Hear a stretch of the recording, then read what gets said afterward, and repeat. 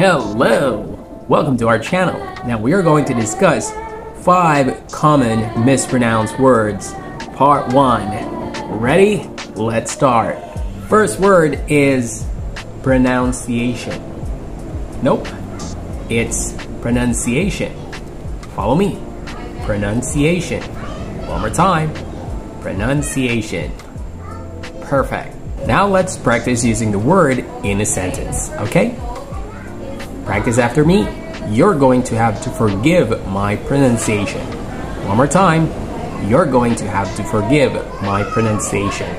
Now it's your turn to practice. Second word is comfortable. Comfortable. No, it's comfortable. One more time. Comfortable. All right, let's try to use it in a sentence, okay? I'm comfortable sitting on my chair. One more time. I'm comfortable sitting on my chair.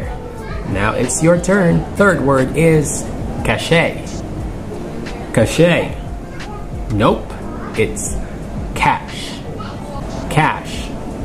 Perfect. Now let's use it in a sentence. Delete all your web cache. One more time. Delete all your web cache. Now it's your turn fourth word is close. Close. Nope. It's clothes.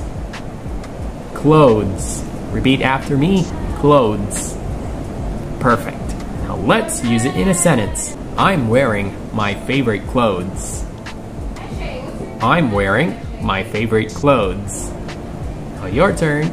Fifth word is perfect. Perfect.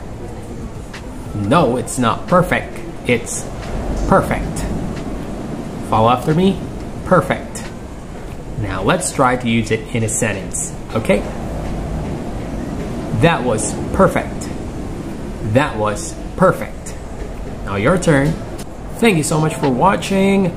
For more mispronounced words, like and subscribe and comment down below whatever you want to practice in English. Thank you so much for watching See you again soon for part 2 Mispronounced Words. Have a great day. God bless you.